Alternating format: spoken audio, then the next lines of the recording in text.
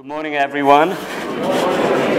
We have some technical difficulties, and uh, as we try to set that going, uh, I'm going to uh, review uh, the messages that I have shared yesterday because what we are about to share today is going to build upon uh, what we have shared last night. How many of you were here last night? Okay, so you got to help me to kind of review it together we talked about Jesus being the essence of the gospel. Amen? We talked about how, how everything about Jesus is the gospel. His movement, his breath, and his facial expression, and his words, of course, everything about Jesus is the gospel. Amen? And that's why we are called to meditate upon him each day, every moment of our lives. The more we the more we contemplate on Jesus, the more we observe him, the more we meditate upon him, the more we think about him, the more we focus our eyes upon him, we shall be changed like Jesus. Amen. Amen. We don't have a built-in ability to change ourselves.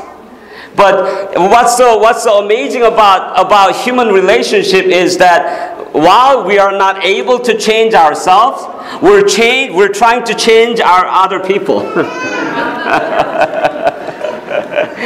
and especially ladies are coming from a home improvement department. and they're trying to change their husband. and but one thing very interesting about men especially Korean men and Asian men, I think. The more outside force try to enforce you to be changed, the more they resist changing. and famous scripture, favorite scripture that they like to quote is Jesus is same yesterday and today and tomorrow. and we shall never change.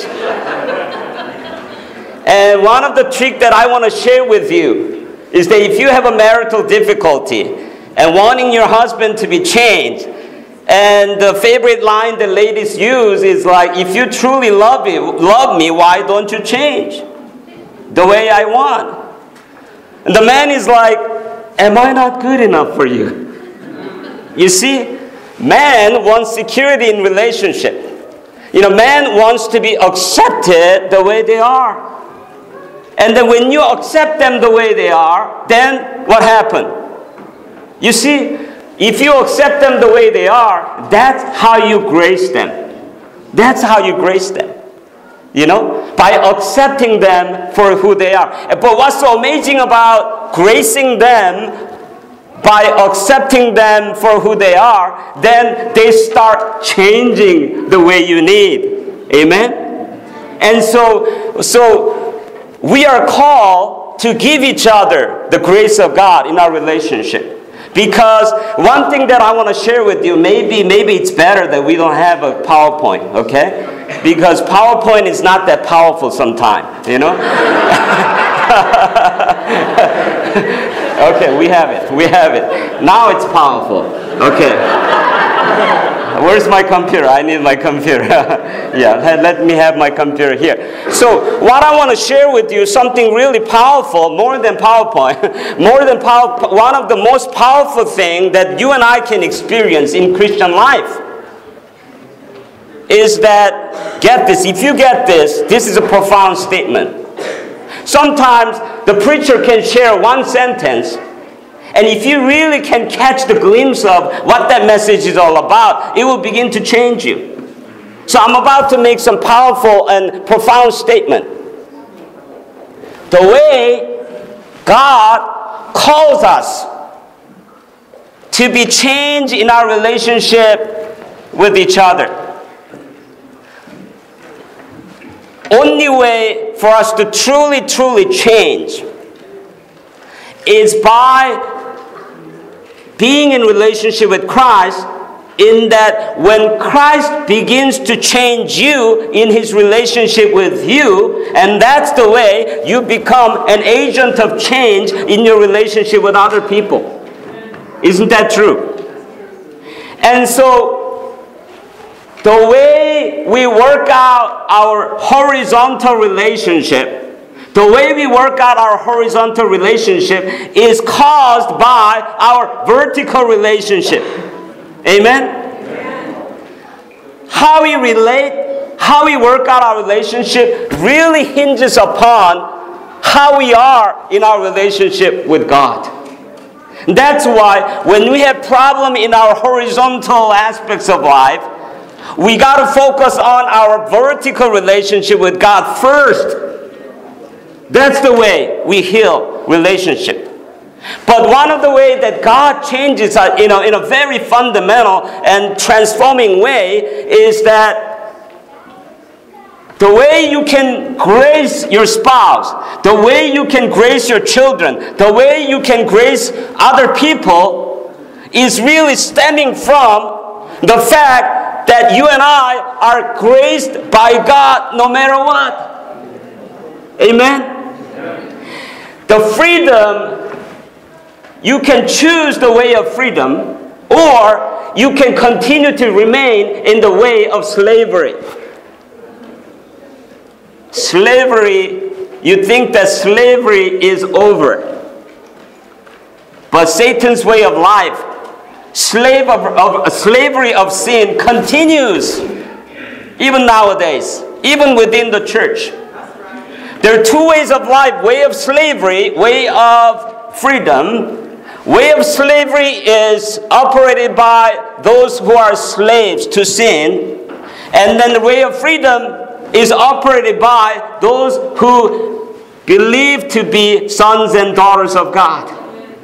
I call it as a life of sonship. Life of slavery has everything to do with being conditioned by Listen very carefully. When your life is conditioned by how other people treat you, if your response is depend on how other people respond to you, then we, we are in a life of slavery. If someone else makes you happy, I like those responses here and there. It doesn't distract me, so continue on. And if the Holy Spirit leads you, you may take over my place here. and make sure I get paid, okay? Just kidding. Okay, so, so life of slavery has everything to do with your life being conditioned by how other people treat you. When you make your spouse make your life miserable, you become miserable. Then it's a life of slavery. When you expect something from your spouse, when you expect something from your children, and you're not getting what you need, and therefore you're not going to give what the other person need, and I met a husband, one guy, he's a nice guy, but his marriage is not working out. And then he came to me and said, Dr. Om, um, it's not working out. Maybe I need to find a way out. I said, What's going on? I know what my wife needs. I know how I should love my wife. It's not like I'm not able, but it's just I don't feel like doing it anymore. because I am not getting what I need from my wife. I feel like I'm pouring on a, like, you know, broken jar. And I talked to her, and, and she, she said, My husband is the selfiest guy in the whole world. Because he just bought a bicycle that is worth of $6,000. If you just hear her, she, he sounds really bad. But like I said, when I met him, he's the nicest guy ever. But then she considered him selfish because she's not getting the love that he can only give. He is withdrawing that love from her. So for her, she's the self, he's the selfish. For him, he's not getting what he wants, and so he's not willing to give. And so then they both are in this what? Vicious cycle. A man comes home from work and doesn't feel like being respected. House is in a mess. Wife doesn't work, but house is in a mess. You know that uh, Foods are all over the places. And he feels totally disrespected. Dinner is not done. He's hungry to death. And then he gets so angry and he starts like destroying things in the household. And thank God that he only chose the cheapest thing to destroy, like things from Kmart and stuff like that. and then I met his wife. After the meeting, I was walking out and she was coming to me, fair looking lady. She came up to me and said, Dr. Um, I want to tell you that my husband and I are in that vicious cycle of relationship. And it's getting worse and worse and worse. It's not getting any better. My husband destroys the cheapest thing that he could find, but I'm finding myself destroying the most expensive thing in the household, like his computer. Because he plays computer game all night. Go to work, red eyes. How do you solve the relationship that gets so vicious like that and then that's getting worse and worse and worse every day? And only solution that we can find is in the gospel. In that the, the way we break away, the way we break the cycle of vicious relationship is to begin with God in that you and I come to Him in our brokenness. I thought I could satisfy my wife, no problem. But five years into my marriage, my wife is a wonderful lady, don't get me wrong.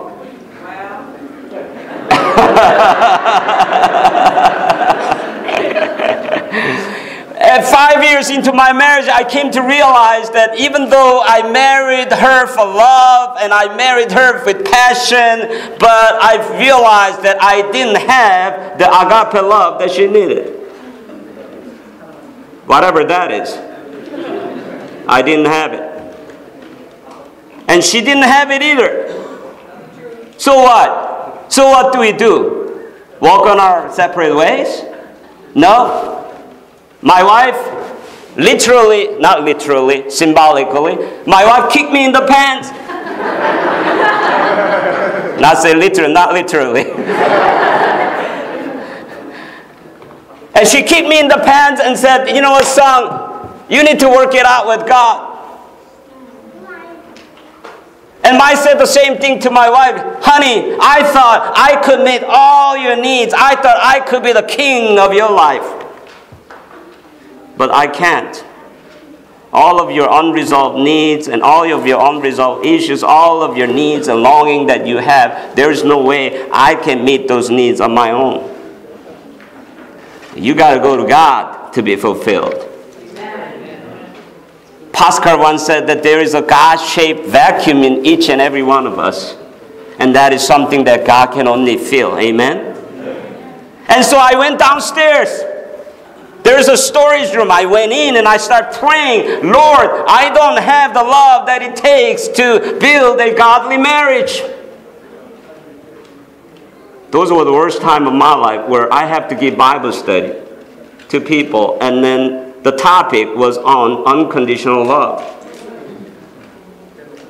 Lord, I can't do it.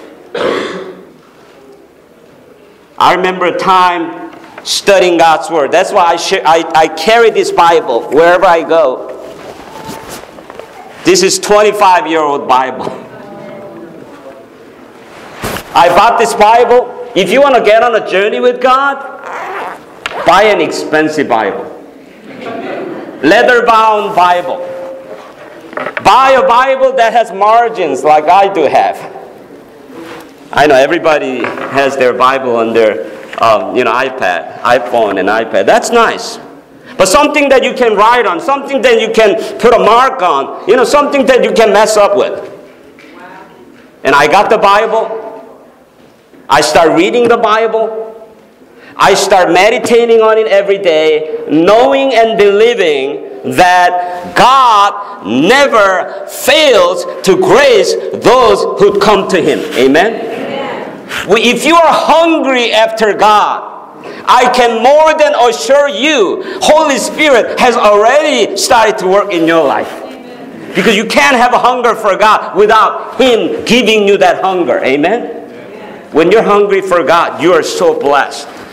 Do you know that that's the first beatitude? Blessed are those who are what? Poor in spirit. For theirs is the what? Kingdom of God. You know what? I like the translation that is given by Eugene Peterson. You know how Eugene Peterson translated it? I like the way he translated on Message Bible. He says, Blessed are those who are at the end of the rope.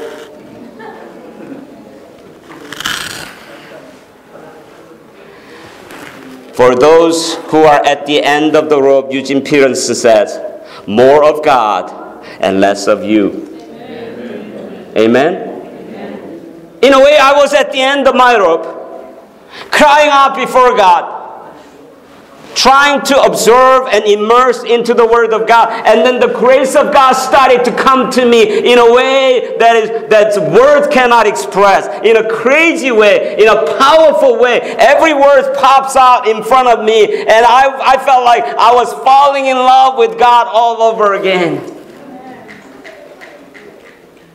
Have you ever been in that first love with God and have lost in touch with that first love with God? Maybe it's about time to restore that. And when I was longing to be graced by God, I was starting to look at my wife, and then she started to look more than beautiful. I was like, I'm so lucky to marry this woman in my life. I always thought that she was the lucky one, but now I realize that I'm the lucky one.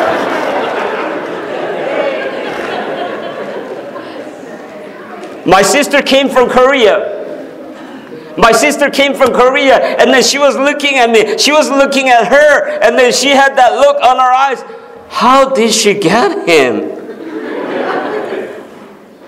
but when I was graced by God, I came to realize that I am graced by God to be in this relationship. Amen.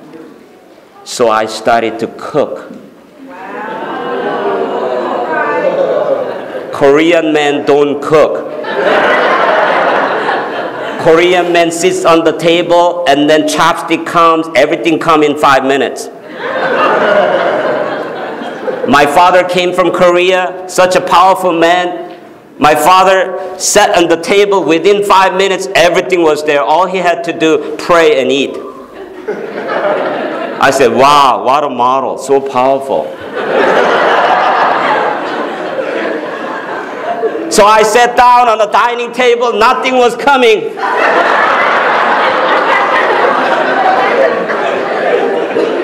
I had to go get my chopstick. and then I had to do the dishes. When I was overwhelmed by the grace of God, first time in my life, I heard of the grace. I heard of God's grace, but I never experienced it. Even five years into my marriage, five years into my ministry, I knew about grace, but I didn't know grace. Big difference. I remember the first day I started to cook. I didn't know what to cook. and there was an oatmeal. I said, this is an easy thing to do. Just put water in it and then boil. It was 7 o'clock in the morning. I, I thought it would be nice to have something for my wife because we had three kids. My wife is tired. So in the morning, I cook oatmeal. But making oatmeal wasn't that easy. I burnt it. And then my wife came out because she smelled something. Ladies has a tremendous smell.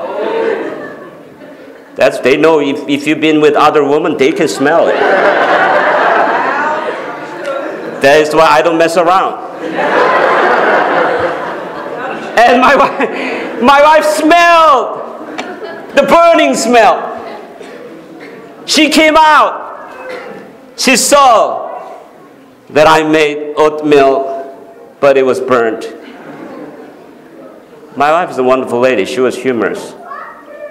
Honey, you're so nice to cook for us.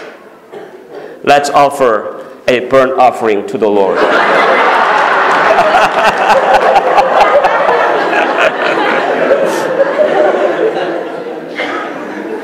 that was the beginning of the rekindling of our marriage relationship. In that, when I'm graced by God, when I'm graced by God, I am free to give even if I don't receive what I need. That's the freedom that book of Galatians is talking about. Not a freedom that enables you to indulge in sin, but freedom that enables you to love no matter what. Amen? Amen. Because what? Not because you receive it from the other, but because you receive it from the Lord always who never ever fails. Amen? I remember preaching a sermon when I was at Spencerville Church. I was fresh off the boat, you know, FOB. I still smell like kimchi. and uh, I still have the kimchi sound in my sermon.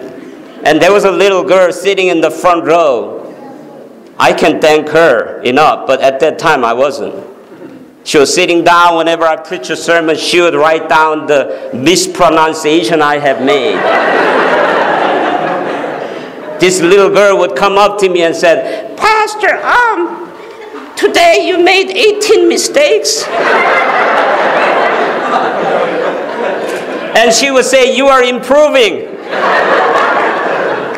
I almost wanted to slap her. Lord, Make her rapture. and she just said, You don't believe in rapture, right? And my, my that, that, that little girl has taught me a lot about God's grace. And then one day, I decided to grace those who misbehave in worship service. I decided to write down their names, those sinners list. those misbehave and interrupt, wrote down their name. It came out to be about six or seven. After the sermon was over, I called on their names. Sinners has a way of feeling guilty. I didn't say anything about the nature of their sin, but they all looked repentful already. They were coming in front of me and said, Pastor, what's going on? Why are you calling us? And I said, I want to meet you guys in Pizza Hut on this coming Tuesday night at 7 o'clock. I want you to come to the Pizza Hut because I want to treat you. And they're like, they all had this puzzled look. Why, why are you treating us with pizza? They all wanted to know, and I said, just come. On Tuesday night, everyone came. and I gave them pizza. They were asking why I was treating them. I didn't say anything. I love you guys. Just eat. Man, little did I know that the power of pizza. when I ordered the pizza, I said extra cheese. And then when kids were eating the pizza, something was going on. And then next Sabbath, I went to church and I started preaching a boring sermon once again. And then those kids who were bribed with pizza were sitting in the front row and then they were policing everybody to be quiet. That's how I survived my, my preaching ministry. When you receive grace from the Lord and you always have so much to give. And when you're learning to share with others, with your family and friends and others, when you're learning to grace others when they don't deserve it and yet when they need it the most, the more you grace, the more you receive to grace even more. Amen. Amen. I hope you are hungry for God. I hope you are hungry for the grace that God can only give us. Ephesians chapter 2, let's take a look at the Bible. If you have your Bible, no more PowerPoint today. I only have five more minutes to preach. I want us to open up the scripture, Ephesians chapter 2. If you have your Bible, open with me. Ephesians chapter 2, verse 8.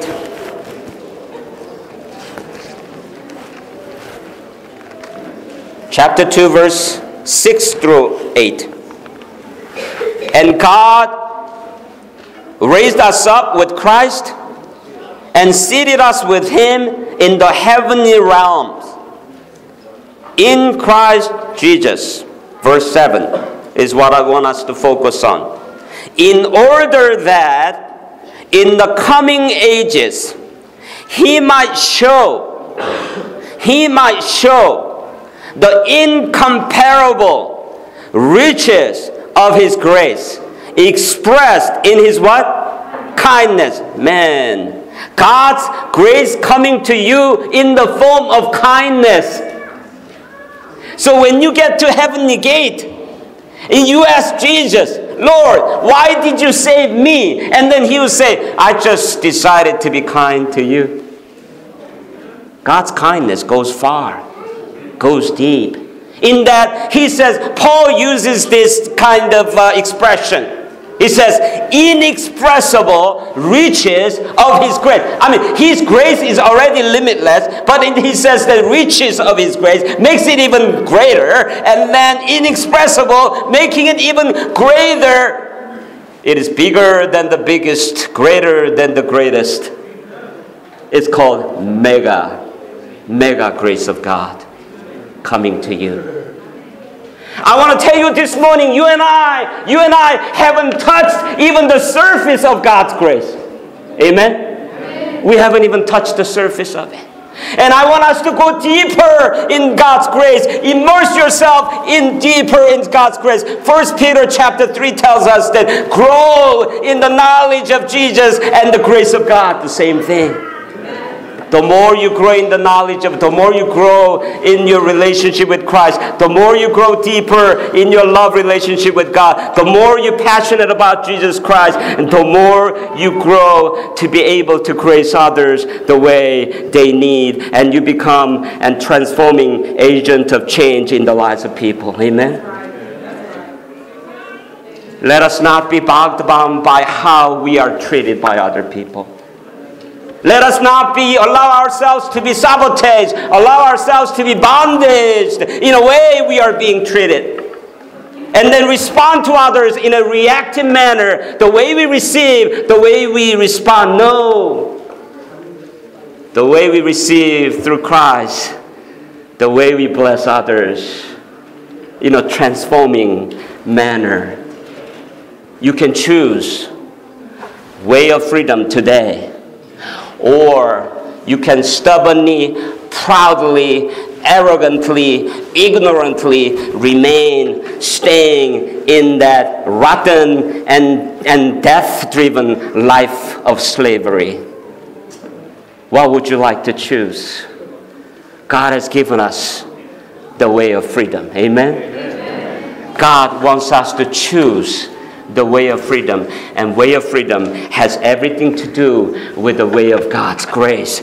Don't, don't ever, ever limit God and what God can do in your life. Amen? Amen. And I'm going to end this, this thought. When the pastor come up, it is a sign that I should end. and he's gracing me. And I want to end with this thought. It may blow your mind away. I want to end this with this thought. This afternoon will continue. When Jesus come in the last days, those who shall be saved are called 144,000. I know you, you, you might be asking, what, what does 144,000 has to do with grace? Did you know that 144,000 has everything to do with grace? You can argue about if whether it's a literal number or symbolic number, but if you look at you know Revelation chapter 7 through 9, it is very clear that it is a symbolic number because 144,000, if you did Kumon, you would know.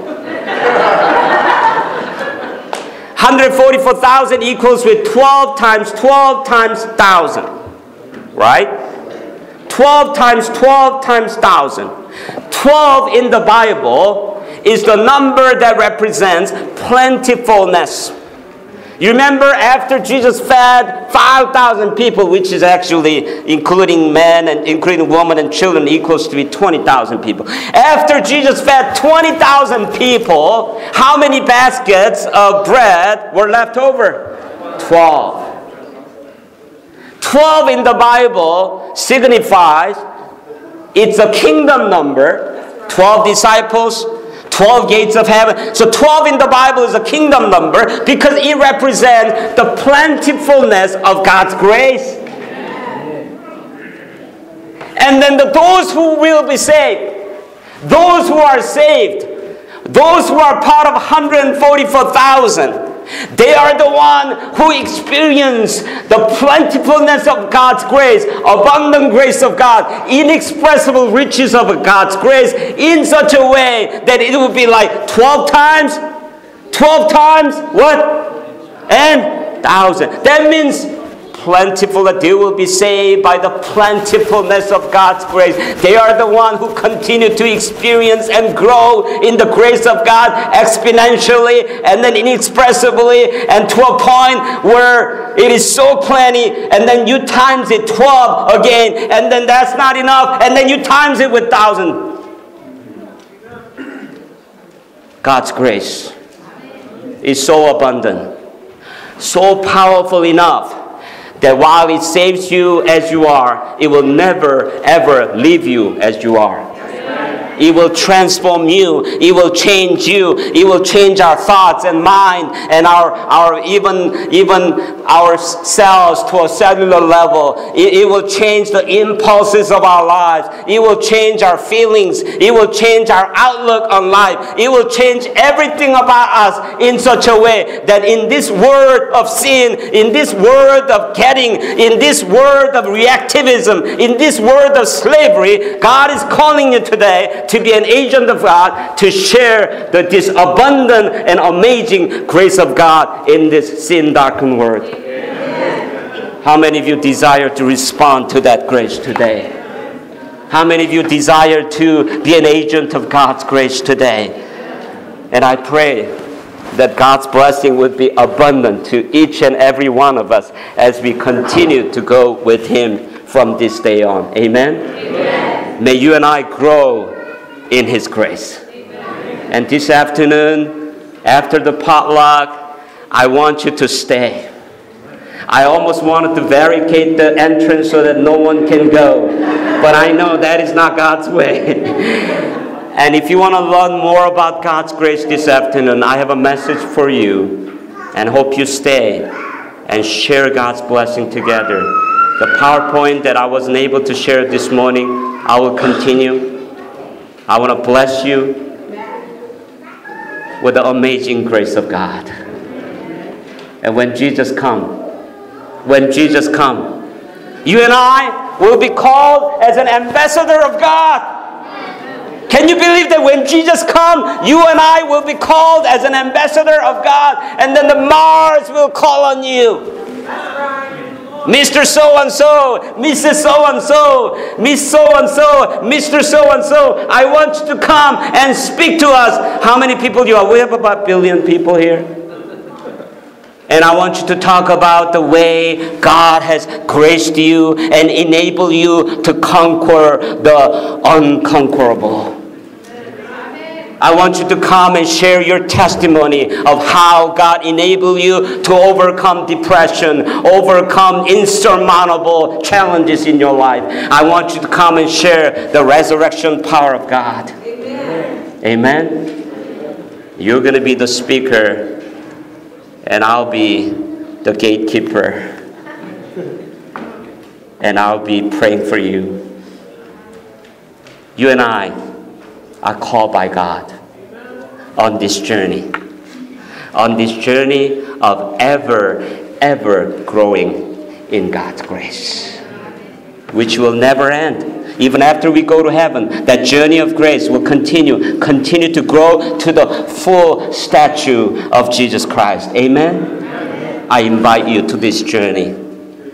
And I pray that God's abundant grace would be real in all of our lives today and on. Amen. Amen.